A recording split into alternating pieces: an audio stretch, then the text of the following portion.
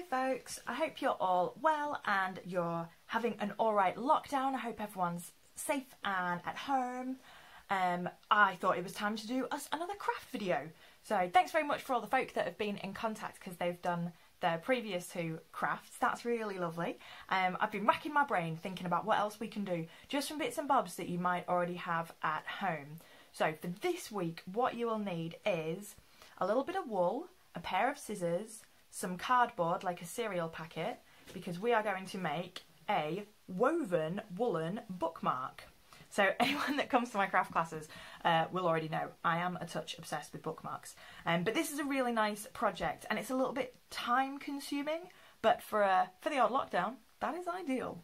So first off, we're going to make ourselves a cardboard weaving loom. So grab yourself a bit of cereal packet, cut yourself a nice rectangle, and First off, you're going to mark onto it at, at the top and bottom. I realise it's left and right at the moment, but it will be. We'll use it like this. Um, so mark on the top and bottom some notches. So here I've done them about 8 mil apart. You want an even number of notches. Um, and for the for the example that I'm going to be using today, I've got 12. So mark on your notches. We are going to we're going to put onto it our vertical threads. So let's start with, let's start with a bit of green. So starting with the bottom of your, of your weaving loom, just poke the end of that wool so it's caught in between that little cut in the cardboard. Bring your wool up to the top, bring it in through there, and then from behind back round. So that first tab is holding our wool in place. Then you can bring it down to the bottom. Don't pull it too tight at this point. Just let it just let it rest where it wants to rest. And it goes into that one and back out. Up to the top. Again, making sure we're not tugging it too much. And continue along doing that until you are happy with the width of your project and then when you are, bring it through the bottom tab again so that both of your loose ends are at the bottom and then we can snip that off. So I've got a little, here's one I've made earlier, Trez Blue Peter. So here are all of my vertical threads and I've got my two ends which will be at the bottom. And I favour a multi-grain hoop. I'm not even getting sponsorship, I've missed a trick there. Cool, so I've got my I've got my blue threads, which are going to be my verticals. Next, I need some yarn. I keep saying threads, I mean wool. Anything you fancy. Some yarn to be the horizontal. So I'm going to use this nice oatmeal colour. So when I was doing this um, with groups previously, we used darning needles, which are the really big fat needles, and I've got some really nice plasticky ones. I'm guessing that folk don't have those. If you do, fabulous, pop them on. But you can make yourself a, um, a really nice darning needle just out of some more of the same cereal pack, to be honest. Um, or in weaving terms, we would call this a shuttle as it goes across. So this is just a little bit of cardboard. I have cut a hole in it so I can pop my wool through there. Do it better, cat. I'm going to pop my wool through here and I can use this as a bit of a makeshift shuttle for my weaving. So here's the other end of my wool. I'm going to tie my horizontal wool to the first piece. So here we go, that's a little knot. We'll slide him up to the top. So now I am ready to start weaving. The general principle with weaving is you're just making sure that your that your needle or your shuttle is going over one strand, then under the next. So I've started with an under. So I will go under, then over, under, then over, under, then over. Well, I mean, etc. Repeat until end. I'm going under, then over each one until we have. There we go. So hopefully you can see that nicely that every other strand of my vertical yarn is over and every other strand of my horizontal is under. Now I've made mine really long because I want a good long stretch of this oatmeal colour. But we don't want it to tangle, there we go. And I'm going to bring that right up to the top. There we go. So that's sitting nicely at the top. So now for this one, I am going to do the same thing. So I started with under, so I will go under, then over, under, then over, etc. until I get to the other end. There we go. So this is the stage where it's really easy to pull your to pull your horizontal yarn, your working yarn, too tight. I tend to put a fingertip there so that I can pull it and bring it up my uh, pull it up my blue yarn, but I'm not going to bring it in too tight. That's looking pretty good. And I mean, guys, this one is this one is time consuming, which is kind of ideal because we got time, um, or at least I know a lot of you have time. Um, big up to all the key workers that don't have time. But just keep going on this pattern. Keep bringing the yarn through. Um, actually, one thing I will say is at this end, you know the first bit that we tied on, there's a little stringy bit? You can catch that in the side at this stage. So I'm going to catch him in there. That's going to look really neat and lovely later on. We'll do one more together on the video because then I can show you one more bit and then I shall pause and I shall do a bunch more weaving so that I can show you the next bit. Let's do the fourth line. So continuing in the pattern, not bringing it, not pulling it too tight. So if I pulled it too tight, it's just going to all concertina up and sort of skew it out of shape. Let's undo that, that looks nasty. But what you can do is, so with my previous example, I have pushed the horizontal yarn all the way up so that you actually can't see my vertical yarn at all. All you see is there is the horizontal. For this one, I'm going to leave it a lot more open. So you're going to be able to see the blue and the and the biscuit colour between each other because I think that'll look really nice. So, but you could, if you wanted to get more of this effect, you could really push that up and really close up those those gaps until you can barely see the uh, the wool in between. Right, as I say, I'm just going to keep weaving down for a little bit um, and then I will show you how to change colours. So I shall see you in a moment and we will change to a different shade of wool. Okay, I've been weaving away for, for a little bit now. So I've got quite a bit of progress done.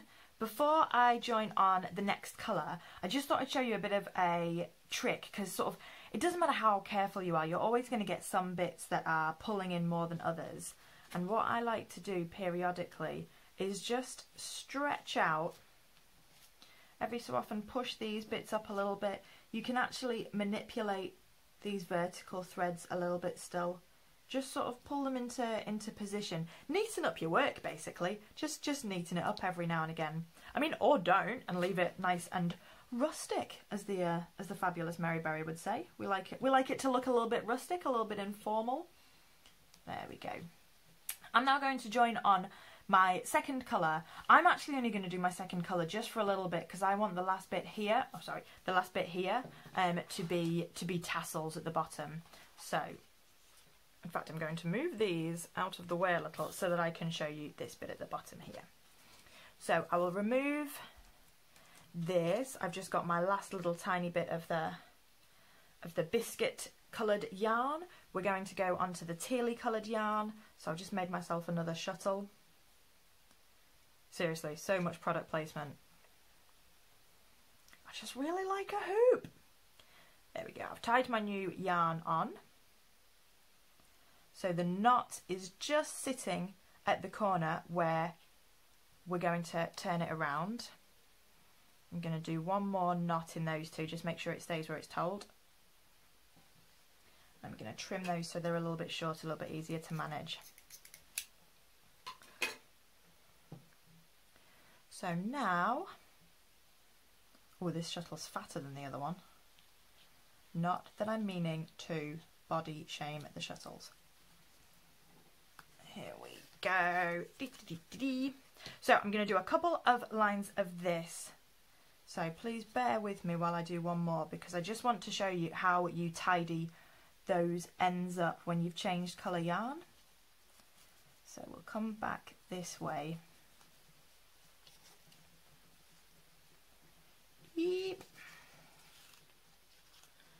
I just feel like when I showed you the first time it was a little bit quick so we want to do another another version of that.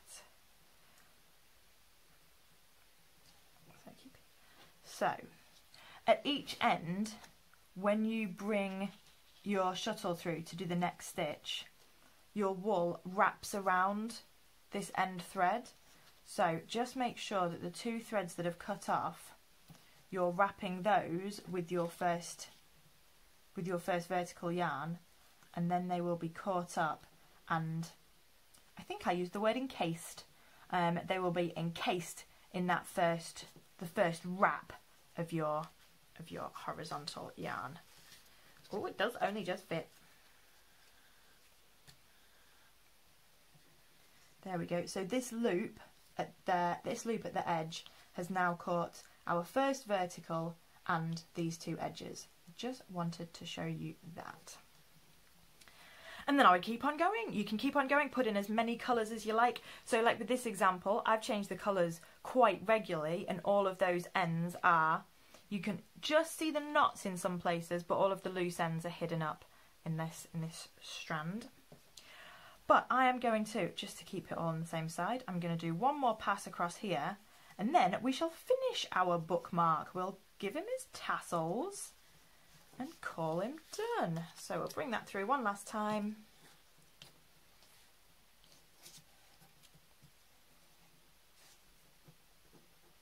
And actually that's in the nick of time, my first, uh, my first verticals come loose. So what we are going to do now, I'm going to bring this back into this direction so that you can see the whole thing at once. So I'm just going to release release the top from its notches and the same for the bottom. There we go. So now at the top we've got a little bit of extra space on these loops because they were around the notches. So I like to just really gently pull on these vertical threads until I can work them through my project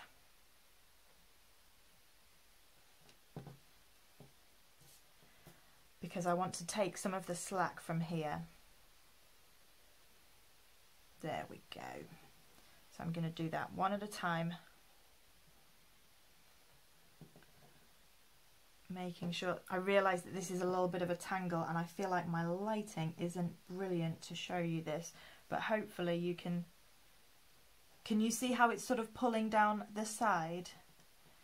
I don't have a super duper filming setup in my house. We're all a little bit make do and mend for these videos. Hopefully you can see that that is. It's taking up that extra it's taking up the extra wool at the top. So I want to do a little bit more on this one. Let's grab that. Yep there he goes. Do one more here.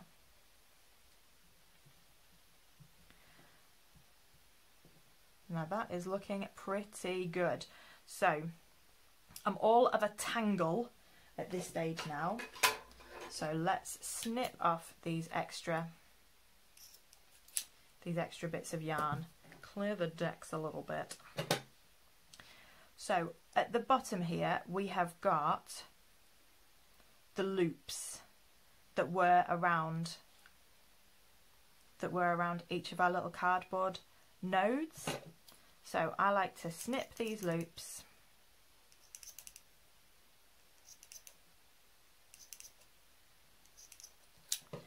and each one tie it in a knot. So at this end I want to, I've got my, ah here we go, here's, here's our last bit of the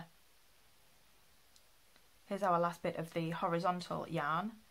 So I can tie these two together.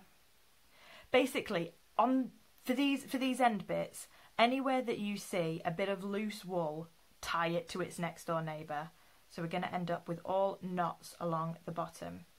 So here's another two, tie these in a knot.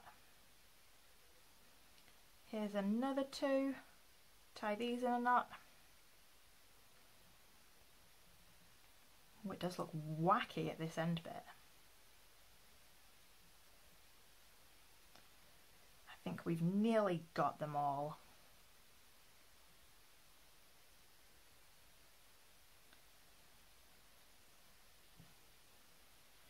There we go.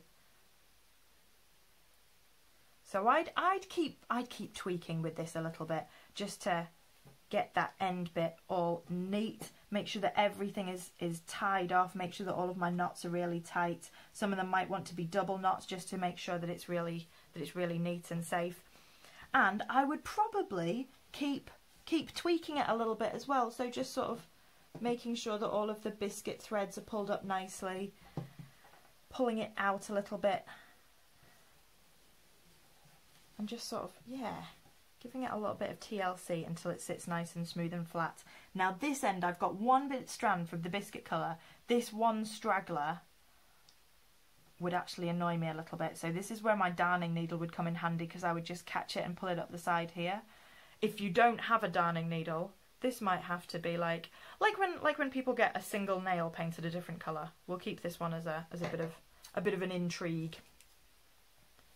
Cut all these off to be the same length.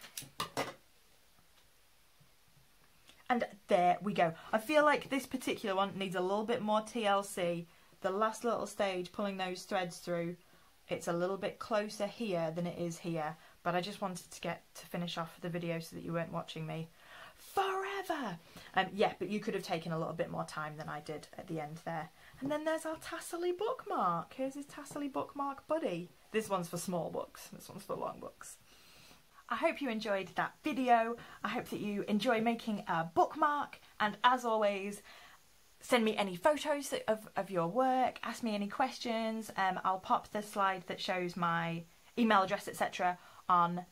And most importantly, stay safe, keep crafting, and see you soon. Thanks very much, guys.